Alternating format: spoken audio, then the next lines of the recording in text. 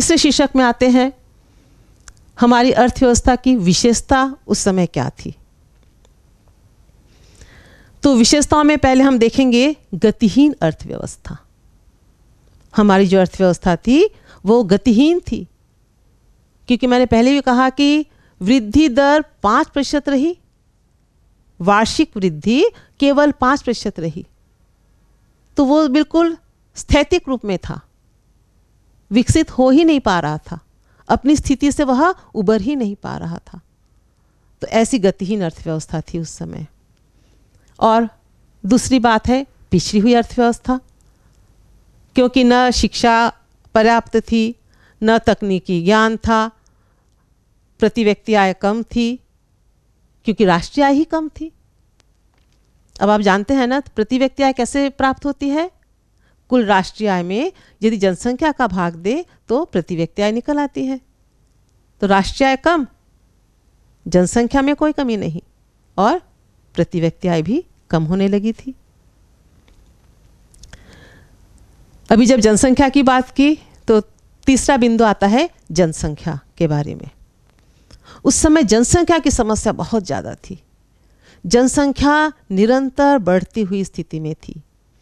1947 में हमारे देश में 36 करोड़ जनसंख्या थी।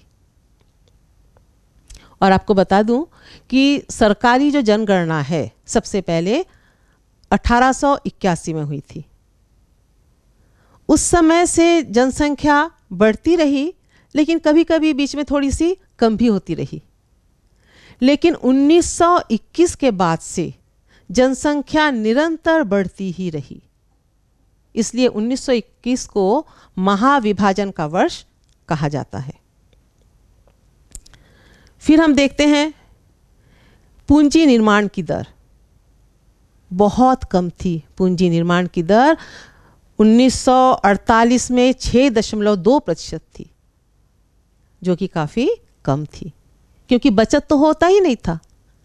बचत कब होगा? जब प्रति व्यक्ति आय अधिक होगी। तब तो लोग बचत करेंगे। अपनी आवश्यकता को पूरा करने के बाद बचत करेंगे। लेकिन बचत हो ही नहीं पाता था और पूंजी निर्माण भी असंभव था। फिर व्यापार की बात आती है। हमारे देश में जो व्यापार होता था काफ़ी सीमित मात्रा में होता था। केवल जूट, सूती वस्त्र, चाय इनका निर्यात होता था। लेकिन ये भी काफ़ी कम मात्रा में। हमें रासायनिक पदार्थ विदेशों से मंगाना पड़ता था। सुरक्षा के साधन विदेशों से मंगाने पड़ते थे। मशीनों के छोटे छोटे यंत्र, वो भी विदेशों से ही मंगाने पड़ते थे। तो विदेशी व्यापार सीमित था, बल्कि हम निर्यात कम करते थे, आयात ज़्यादा करते थे। फिर आती है मुद्रास्फीति की बात। मुद्रास्फीति माने मुद्रा की मात्रा का बढ़ जाना। जब देश में मुद्रा की मात्रा बढ़ जाती है तो वस्तु का मूल्य बहुत बढ़ने लगता है, जिससे आम जनता को इसका प्रभाव बहुत ज़्यादा पड़ता है। उस समय विदेशी शासक ने कई, ने साधन, सुरक्षा के साधनों में, मशीनरी साधनों में काफ़ी पैसा उन्होंने खर्च किया, जिस कारण से उन्होंने काफ़ी विदेशी जो मुद्रा है, उसका उन्होंने निर्गमन किया।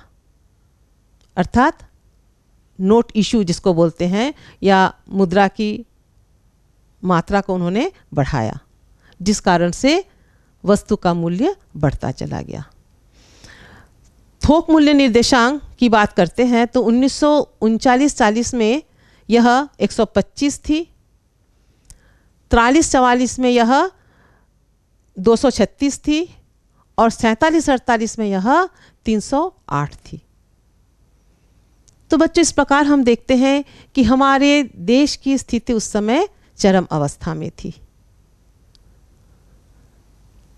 तो इतना अध्ययन करने के बाद हम ये समझ सकते हैं कि ब्रिटिश शासकों ने करीब करीब 200 वर्ष की समयावधि जो अपना शासन चलाया, उसमें उन्होंने जो भी काम किए, अपने स्वार्थ सिद्ध के लिए। ऐसा नहीं कि हमें कुछ फ़ायदा नहीं हुआ। उन्होंने रेल का विकास किया, जिसका फ़ायदा हमें मिला। उन्होंने आधुनिकरण को अपनाया, उसका भी फ़ायदा मिला। इसके साथ ही साथ उनमें जो राष्ट्रीयता की भावना थी, वो हमें देखने को मिलता है। लेकिन उनका जो मुख्य उद्देश्य था हमारा शोषण करना। जिस कारण से हमारे देश की हस्तशिल्प कला जो पूरे विश्व में प्रसिद्ध थी, उसे बर्बाद कर दिया गया और उत्पादन, कृषि